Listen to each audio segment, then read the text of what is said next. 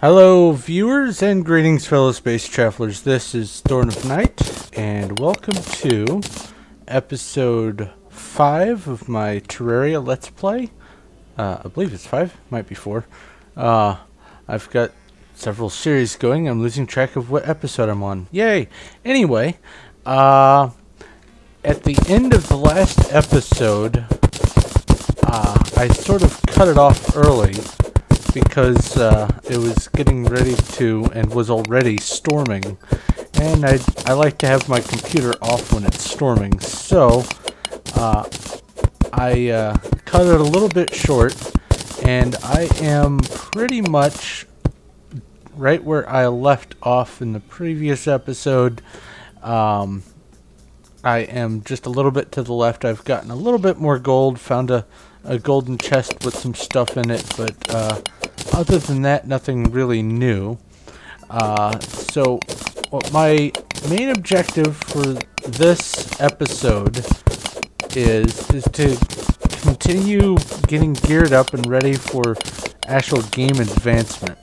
Um, in my opinion, yes, there is a lot that you can do. You can build different things and you can explore and whatnot early on, but it is kind of limited to how much you can do. Uh, the resources aren't as plentiful, especially some of the ones for uh, in-game stuff aren't even available at all. And uh, the the mobs are pretty much just a nuisance. They aren't really uh, challenging per se. So what I'm going to do in this episode is continue trying to get geared up. Uh, with any luck, I'll be able to uh, finish up getting enough gold, maybe even to have a full set of gold armor. That would be nice. And hopefully, since I am in the vicinity of a corruption, I will be able to uh, catch one of the uh, the big skeletal worms that you find in the corruption on video. Uh, if I can hit the uh, record button fast enough before it kills me or before I kill it. So, uh, I, I have gone ahead and upped my life to 180. I'm not going to go past that because uh, there is one boss mob that will spawn given certain criteria. Uh, one of which is having uh, 10 or more defense. Another one is having 120 life, and another one is having uh, three or more NPCs. Well, I already have three or more NPCs. I already have 10 or more defense. And I uh, don't want to give myself that last life crystal because if I do, then that guy's going to spawn and I am ill-equipped for taking care of it just yet. So, I'm going to continue my uh, search for resources and if I find anything interesting or useful, I will uh, uh, bring the recording back up. Uh, one thing I don't think I have covered yet is this guy. This is a jellyfish, and the jellyfish spawn in the underground and below, and when you kill them, you get, well, money and some uh, of these, uh, what, what are they called? Glow sticks. And wow, my inventory is kind of full. Let's fix that right now. Da -da, and da. Alright. Uh, don't need that on me. Don't need that or that. Don't really need those. Found this in a chest. Gonna sell it because with the uh, uh, critical strike chance on this one, uh, it's actually better than the trident there. Speaking of trident, hey, there we go. Um, but I am going to probably go ahead and cut here. If I find something interesting, I will go ahead and start recording like I said. And uh, hopefully in the meantime I'll be able to get enough resources to move on with things. At least I think I have enough now to make a, uh, a gold pickaxe, but I'm going to be kind of sad if it's not legendary or at least godly. That's that's kind of nice. But uh, yeah, I will be right back and uh, hopefully with something interesting. So talk to you in a bit. Okay, guys, I found one. One of these were the devourers, and they are big. And I'm going to kill it. I guess I have to stand over here. Alright. That was a lot easier than I had anticipated. Anyway, um... Yep, that's all the loot it had. But, uh, yeah, they pop out of nowhere and they make your life miserable. As you can see, if I only had a hundred life, I would have been pretty close to dead by the time I had killed it. Uh, so, drink that. And, uh, I'm going to continue on with my digging. I just want you guys to see that on camera. anyway, I'll be back. Okay, guys, I'm back and I have found a chest with Hermes boots in it. And it's got the wild modifier, which means it adds to my melee speed. But I'm going to go ahead and loot all this stuff and come up here if I can. There we go. The Hermes boots are an accessory, and this is my normal run speed here, but as soon as I put these on, you get this uh, stomping animation with the dust behind you. And after you build up enough speed, uh, you uh, are going to be able to run, I think it's three times as fast. Maybe it's just twice. Let's see here. Oh, it's got to at least be three times as fast. But anyway, I just want you guys to see uh, my my next accessory. There are plenty more to come, but this one's pretty useful. But it's still not the thing I'm hoping to find down here. So I'm going to get back to my searching and uh, hopefully get it in this episode. In the meantime, I'll be right back. Okay, guys, I have managed to come into a corruption from the bottom. And there are several things in here that I want to show you. Uh, first off, this is all ebon stone. I cannot dig this. And secondly, if I come in here and illuminate things a little better, this is called a corrupt goldfish. They have 100 health, and whenever there's a goldfish in the corruption biome, it will become a corrupt goldfish, and they hurt a lot, especially if you have a whole bunch of them. The next thing I wanted to show you is these demon altars are everywhere down here. Which is good because eventually I'm going to be smashing them. And uh, it's good to have a lot of them. The next thing that I wanted to show you over here. You can sort of see that this block that I'm on right now, here I am, uh, is glowing. This is called hard to break because it is demonite ore. It is not the ebonstone here. You can break it with a gold pickaxe though. So I'm going to head back and craft myself a gold pickaxe. However, I am going to have to make note of the area that I'm in because there's even more demonite here, but it's all embedded in uh, the ebonstone, so I still can't get to it until I can break the uh, Ebonstone, so I may not even be concerned with that. But one thing you have to remember about being down, ow, ow, ow, in the corruption is that those eyeball things are everywhere. Also, I have uh, surface access to a uh, shadow orb, which is kind of rare. But I'm not going to smash it yet because it might make a meteor happen and I don't want that. Uh, at least at this point. So I'm going to cut here. I'm going to go make myself a gold pickaxe and then I'm going to be right back and show you what Demonite ore is all about. So, see you soon. Alright Right guys, I'm back and I have a few things to show you. First off, I did actually get a legendary gold pickaxe. It's not as high on the plus to speed, but ow! Hey, I'm talking to my viewers here. Leave me alone. You go away.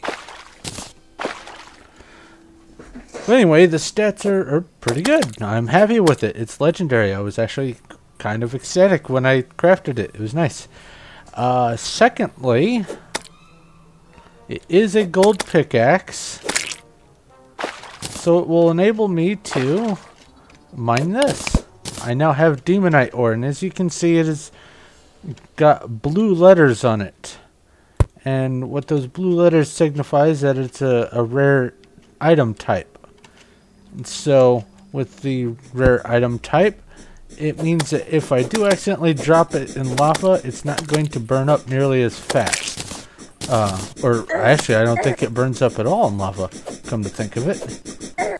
But I haven't really tested the throwing things in lava mechanic. Oh, I can't get to the loot. No!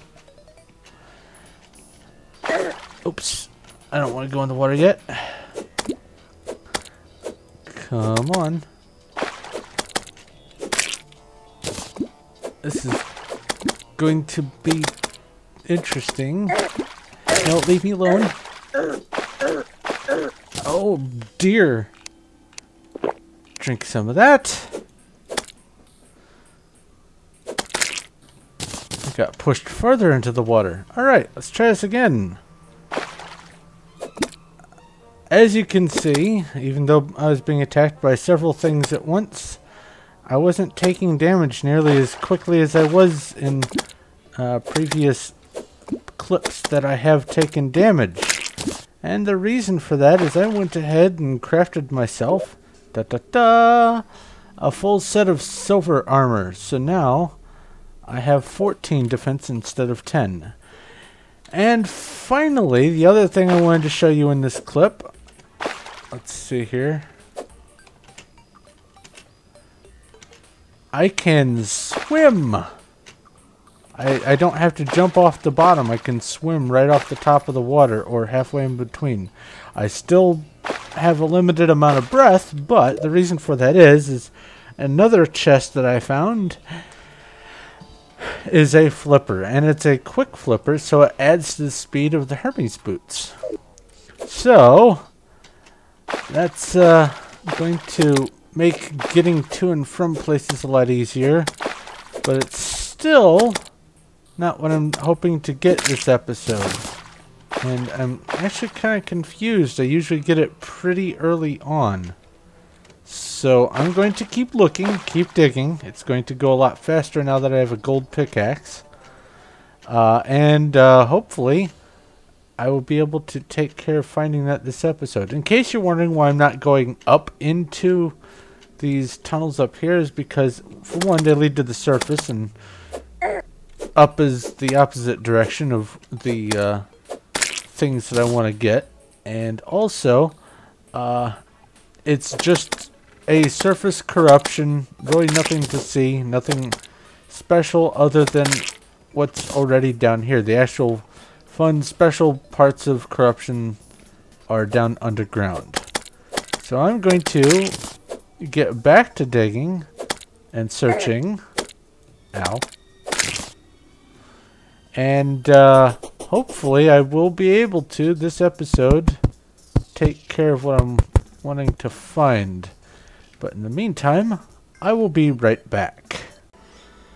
Okay guys, I'm back and I have something new to show you. Uh, I have dug into an underground jungle biome. Which means that there's going to be a lot more to do here soon. Uh, aside from the fact that now there's going to be uh, more mobs associated with this biome, also, there's new loot. And among the new loot are things that I'm going to be needing for some uh, new armor. So that, that's uh, and some new weapons also. So that's going to be coming in handy real quick. But I wanted you guys to see this. Uh, you can tell you're in an underground jungle biome because the background there's got to be a booby trap somewhere. Anyway, the background is oh I keep interrupting myself, but this is it. This is the booby trap. There's got to be a button right under here because there was a boulder there.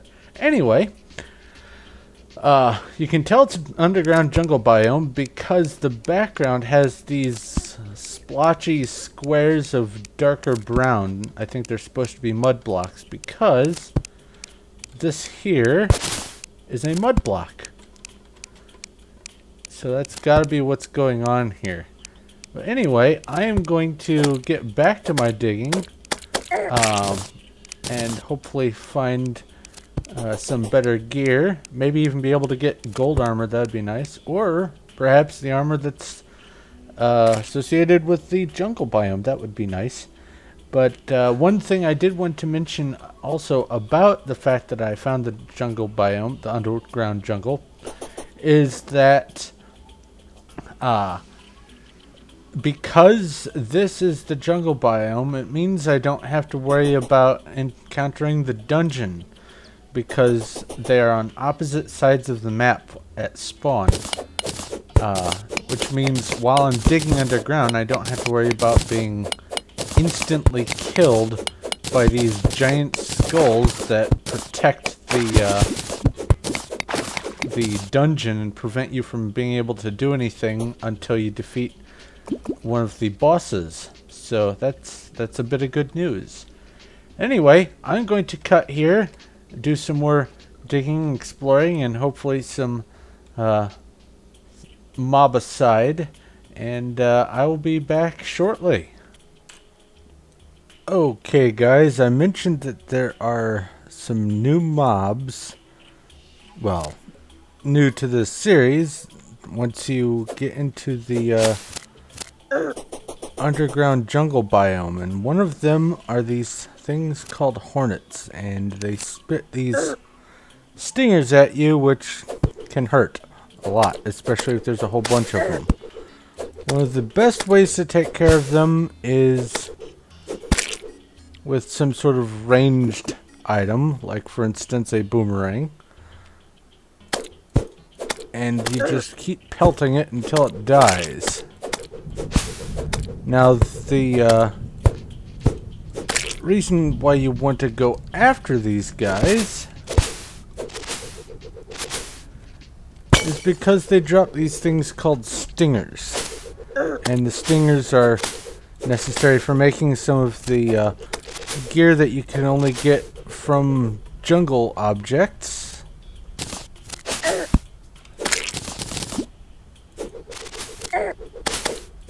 Ah, there we go. I'm poisoned. That's what I wanted you to see. And the poison effect will make you start losing life. Oh, I did a double jump just then. I managed to find a cloud in a bottle. So you can jump and jump again. It's also helpful for if you're falling, you can uh, jump just before you hit the ground and not die. But uh, there is one other mob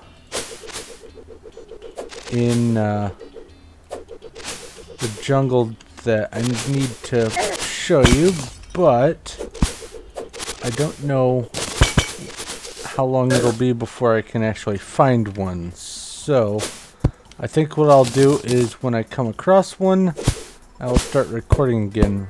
But before I go, I'm going to go ahead and grab an angel statue.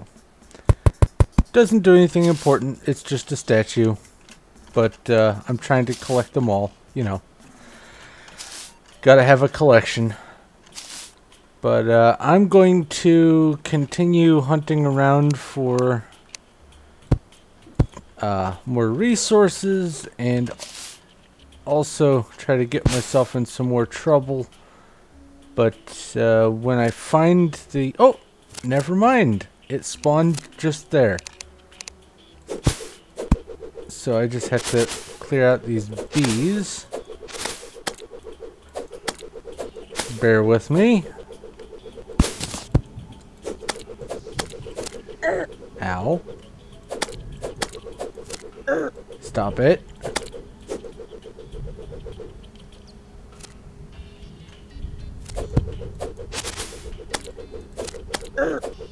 Okay now. We get the idea. You're bees. Or hornets. Ow! Go away. Alright, this thing. This is called a man-eater. Oh. Take care of one more uh, hornet here.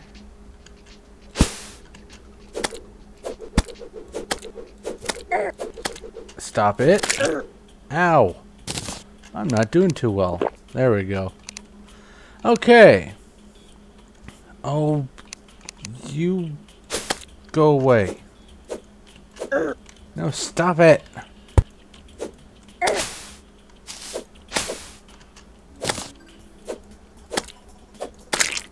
Okay. Anyway, these, these things are called man-eaters and they are the only source of something called vines. And one thing you have to watch out for with them is, though they have a, a normal range that they can reach, which is about there, and his center point is uh, somewhere back here-ish, um, in the lower right.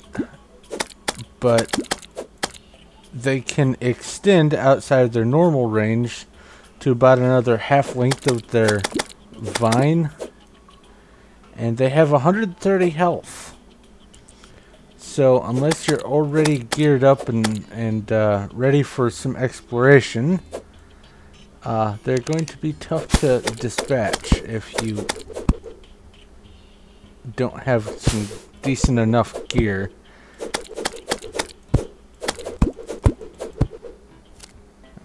Come on. There we go. I was hoping he would have dropped a vine. Uh, but anyway, as I go through here, I'm going to be collecting more stingers, um, more vines, well, some vines from uh, the, uh, the, the hornets. And if you're wondering what's causing me damage, there are some thorn bush or thorn vine things that spawn normally that hurt. But, uh, yeah, I'm going to go ahead and get back to my, uh, hunting for resources. And hopefully I will still, this episode, be able to find the one thing that I've been looking for for the last couple episodes. Uh, and when I find it, it's going to make my life a whole lot easier but I'm still not going to give away what it is just yet. It's nothing hugely special, it's just, uh, it's very wonderful once you find it. But anyway, I'll be back in a moment. Okay guys, you may see that there's a new tombstone on the roof of my little workshop hut thing. And it says that I didn't bounce. The reason why I didn't bounce is I've been tinkering around with uh, my new toy.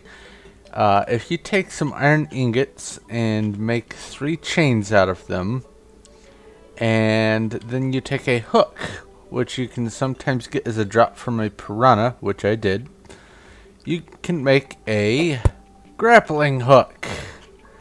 But be very careful when using it, because if you fall, and you don't have some sort of uh, double jump or, or, no fall damage shoes or something uh, to mitigate the distance, you are going to go splat. And it is horrible.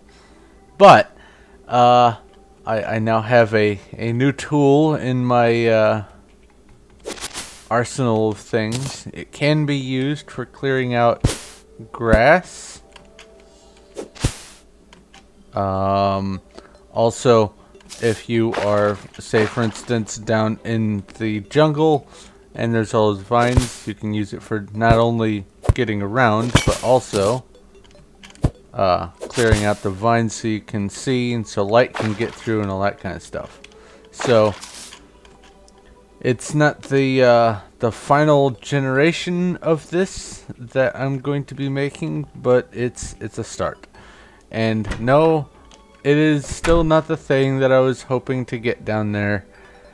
You'll know it when I uh, mention it, but uh, for now I'm going to get back down, do some more searching, and uh, hopefully, let's see here.